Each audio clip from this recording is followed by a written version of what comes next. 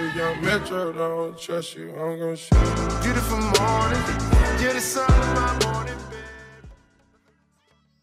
Takže zdar Zoši, já vás vítám u nového videa FIFA 19 je velice, ale velice blízko, už nás dělí jenom pár dní od toho, než uh, vyjde web app, než budeme mít přístup uh, otevřít si na webové aplikaci první balíčky a skládat už pomyslné v úvozovkách, v úvozovkách starter týmy. No a já jsem si pro vás dneska jeden připravil, jedná se o starter tým z anglické ligy, teďka tento týden budou každý den po dobu uh, oficiálního releaseu FIFA vycházet videa se starter týmama. Uh, vezmeme to nejdřív takže začneme jednotlivýma ligama a potom zkusíme nějaký hybrid. Dneska máme teda na programu Premier League a já jsem si teda vybral tyhle hráče, nebo ještě abych vás uvedl, co vůbec ten starter tým je, tak uh, v mých očích je to něco jako začátečnický tým, s kterým začínáte, určitě nemáte na začátek moc coinů, tudíž tohle může být tým do 30 tisíc. Fakt jsem se chtěl dostat do nějaké takovéhle částky, samozřejmě ještě web appka není, tudíž nevíme jaký ty ceny budou. Možná se na tenhle squad builder díváte později, takže ty ceny už víte, možná je to nahoře, možná je to níž, ale předpokládám, že tenhle tým by teoreticky mohl být eh, do těch 30 tisíc a to si myslím, že všichni všichni můžou mít k dispozici do nějakého jednoho herního dne. Prostě ano, trvá to chvíli, než se člověk vypracuje, než ten tým vypracuje na nějakou, na nějakou chemistry, eh, na to, že tam má všechny zlatý hráči, že mu to nějak sedí po kopě. Takže právě proto tohle video. Začínáme teda Premier League, asi osobně myslím, že Premier League prostě hraje strašně moc lidí a je, pro, je po ní opravdu scháňka. Takže já jsem se kouknul na hráče z Premier League, uh, je to, jsou to většinou non-rare hráči, tudíž samozřejmě levnější než ti vzácní, ale i mezi těma non-rareákama, i mezi těma hráčima na, na začátek se najdou fakt jako kvalitní karty a jsou mezi těma normálníma basic rare kartama i docela bych řekl kompetitivní, protože některé karty prostě odpovídají statově úplně všem atributům, který prostě ten dobrý tým musí mít. Takže, uh, první golman, non-rare z Premier League je Španěl z Cristopelis Guaita, který absolutně netuším odkaď přestoupil, nicméně tyhle staty 82 diving, 82 reflexy, 81 handling, 80 kicking, 79 positioning a 190 cm. Tady jsem si prostě nemohl odpustit, tam nikdo lepší není statově. Jsou tam horší ratingy, i lepší ratingy v podobě třeba Petra Čecha, ale Petr Čech nemá takový staty jako Maguaita a to má o jeden, o jeden rating vyšší. Eh, na pravou obranu jsem se rozhodl dát Serge Auriera. Serge Aurier, you know? Serge Aurier z, ze Spurs byl minulý rok strašně hrávaný, byla to zásná karta, pokud se nemýlím. Má high high work ratey, což já jsem osobně fanoušek takovýhle work rateů na uh, krajních obráncích. 78 pace, 78 defending, 79 physical, já vím, ten 78 pace není úplně extra, ale mezi těma non kartama mm, je v mých očích Aurier mm, asi nejkomplexnější bych řekl, takže proto jsem vybral Auriera. Uh, stoperská dvojice tvoří Nathan Ake a Antonio Rudiger. Velice jedna důležitá informace u těchto stoperů. Oba dva work ratey medium high, což si myslím, že je dost důležitý i na začátek. 73 pace a ke 74. Rudiger 81 defending, 79, 77 physical a ke 79 defending, 74 physical. Rudiger tuším nějakých 190, přes 190 cm, možná teďka přímo netuším, ale vím, že se pohybuje v nějakých takových číslech. A Ake má nějakých jenom 180, ale Ake je takový ten strašně nepříjemný typ obránce, on je sice malý, ale strašně to odezdí a hrozně důrazný a šlo to cítit i, v té minulé FIFA, já vím, že když vyšla jeho druhá inform karta, tak ho strašně moc lidí prostě hrávalo, protože byl dostupný a byl fakt dobrý. A na tu výšku se ani tak moc nehledělo, na, na ten začátek je fakt jako najít těžký, je fakt jako těžký najít uh, někoho, kdo bude fakt jako vám vyloženě sedět, tudíž vysoký, rychlej, silný u těch non karet to není úplně až tak žhavý. Tudíž Ake Rudiger moje stoperská dvojice. Na levého obránce bych dal Robertsona, o kterýho mám trošku strach, že bude dražší, než bych očekával. Já čekám, že by Robertson teoreticky mohl stát nějaký 3000, ale může se stát, že bude stát víc, protože jak vidíme staty 84 pace, 77 defending, 73 physical.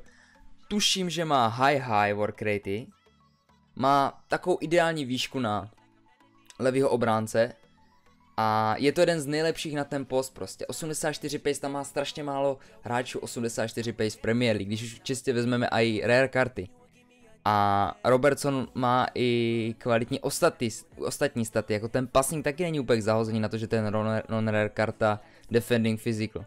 Takže uvidím, jak bude Robertson stát, nebo kolik bude Robertson stát, ale za mě jedna z nejlepších uh, karet, jak kdyby ve hře, co se týče statů a co se týče non-rare karet. Takže tak. Uh, defenzivní záložníci. Sisoko a Lerma. Lerma přestoupil do Bormefu. Sisoko minulý rok byl tuším na PZ, tudíž s těmahle statama na PZ totálně naprosto nepoužitelný. Já vím, fungoval Switch, o tom ještě později v tomhle videu, ale k věci. Oba dva důležitý staty na tuhle pozici, což je defenzivní záložník, medium high. Oba dva nad 70 pace, oba dva nad 80 physical, Lerma dokonce 78 defending, Sissoko 64, ale za to 72 shooting, Lerma jenom 65. Já si myslím, že toto je hodně dobrá dvojice. Já jsem to naladil tak, že prostě chtěl jsem mít jednoho ofenzivnějšího, v téhle chvíli Sissoko, který by dokázal teoreticky zakončit, 72 shooting není úplně zas tak špatný. Lerma, ten je spíš takový bojovník do obrany. Tuším, že oba dva mají dobrou kondici, takže by neměl být úplně problém, aby odehráli celých 90 minut bez toho, aniž by tam jako tahali nohy. Nicméně u těch non-rare karet je to strašně spekulativní, někdy to prostě funguje, někdy ne. Nicméně, přesuneme se dál na levého záložníka. V mých očích jedna z nejlepších karet, non-rare karet, je Elionousi, který, kterého si určitě z vás pamatuje takový ty real OGs z FIFA 13 nebo tuším 14, kdy měl Infor, byl to 5 star skiller, bohužel teď už 5 star skiller není, ale má 4 star, 4 star, což znamená 4 hvězdičková slabá noha, 4 hvězdičkový, 4 hvězdičkový skilly, což je strašně moc důležitý pro kompetitivní karty, aby měli tyhle atributy prostě splněny. Čtvrková slabá noha, čtvrkový skilly. Proto právě Elionousy. Úplně ideální karta na levého záležníka na začátek. Na druhou stranu, tam ten vývěr už byl horší skrz to, že tam prostě nebyla rychlost. Tam jsem nemohl sehnat rychlost. Tudíž dal jsem na to nejrychlejší, co tam bylo. Protože stále si myslím, že ve FIFA bude ta rychlost důležitá.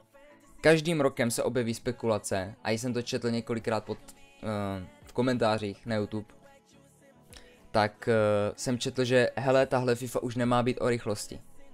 To se říká, to se říká od FIFA 13-14, že tahle FIFA nemá být o, o rychlosti. Za rok se zase říká, že tahle FIFA určitě nebude o rychlosti, budou důležití hráči s passingem, s driblingem a tak, nikdy tomu tak nebylo. FIFA vždycky zvýhodňovala hráče, kteří jsou vysocí, silní a rychlí. Takže proto já jsem dal v téhle chvíli na rychlost, samozřejmě Cavalero jenom takový backup, až prostě na, našetříte nějakého lepšího. 87 pace, 77 dribbling, 71 shooting, 68 passing, 68 physical, nemá až tak moc dobrou kondici, ale má, mám tuším, tuším, že má čtverkový skilly ne, trojkový skill a čtvrkovou weak foot, což není úplně špatný. Takže tak, eh, na pozici středního kamka jsem se rozhodl dát Jesseho Lingardína, Man United Legend, might. Fakt, já jsem nemohl prostě, já jsem tam nemohl dát žádnou non-rare kartu, protože se mi žádná nelíbila. Žádná by mě ani nevyhovovala. Já bych si tam žádnou sám do svého týmu prostě nedal. To znamená, že jsem jako zapřemýšlel, hele, jestli to má být do 30k, tak stejně si myslím, že bychom tady měli fora, prostě máme tady plno non-rare karet, které budou třeba za 2-3 tisíce, takže to by snad mohlo nějakým způsobem prostě vít. Tudíž jsem se rozhodl dát další rare kartu společně se Seasokem a to je Lingard 81 pace, 84 dribbling, 68 physical, 78 shooting, 76 passing. Čtvrkový skilly, trojková slabá noha, nic extra, ale jak říkám, Lingard není hráč do konce FIFA, takže kdykoliv může jít pryč, ale solidní staty má, ty začátky si myslím, že by mohl potahat dobře. Uh, a na pozici hrotového útočníka opět strašně moc těžký to bylo. Vybrat fakt jako někoho schopného, statově prostě schopného, kdo na oko vypadá dobře.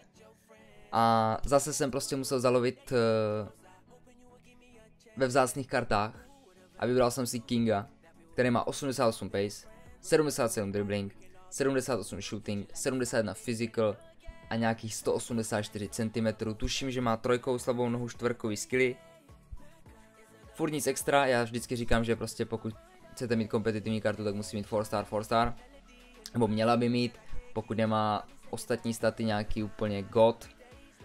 Ale za mě King asi na tu pozici toho útočníka ono rating 78, já vím, že to je rare, tak, ale i tak by prostě nemusela být drahá. Já si myslím, že King půjde sehnat do 5000, 4000 nějak tak. Nepůjde pod 2, nepůjde možná ani po 3, ale ta 4 až 5000 tam by se nějak mohla pohybovat jeho cena na začátku web appky nebo na začátku releaseu FIFA 18. Uh, poskládal jsem tu sestavu teda do téhle formace 4-2-3-1, samozřejmě Nehráli jsme full verzi hry, nehráli jsme Ultimate Team, nikdo nemůžeme říct, jaká formace funguje, jaká formace nefunguje. Já jsem se prostě řídil tím, co fungovalo v 18, co mi tak nějak vyhovovalo a na začátku prostě bylo lepší, když si měl víc lidí vzadu, měl si dvě CDMK, měl si uh, hráče na krajích, měl si střední kamku a měl si rychlý hrota. To vždycky na začátku nějakým způsobem fungovalo, toho jsem se držel teď a Řekl jsem si, že by to mohlo potenciálně fungovat i v 19, ale na to přijdem. Takže ve formaci 4-2-3-1 jsem to poskládal takhle, dá se to poskládat ještě různě, ale vybral jsem v mých očích ty nejlepší karty a ty nejvíc cenově dostupné karty, aby to prostě sedělo jak cena, tak výkon do těch 30k. Doufám, že to tak bude. Já doufám, že tohle video vám pomohlo že jste se možná nechali něčím inspirovat. Strašně jsem, strašně jsem rád, že jste to dokoukali až sem. Uh, uvidíme se opět zítra u dalšího squad builderu. Těším se, vidíme se na streamu nebo u dalšího videa. Zatím se mějte krásně boys a čus.